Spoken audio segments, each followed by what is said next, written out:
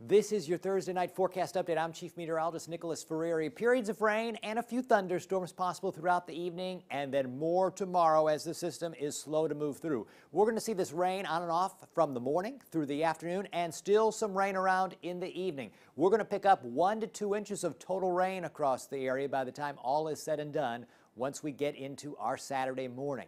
On Saturday at sunrise, really little, if any, rain left. If there is something, it'll be just a sprinkle or two up until about noon.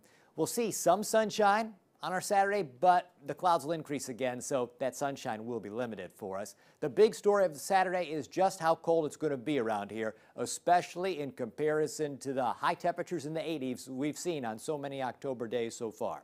68 our Friday high, Saturday only 58.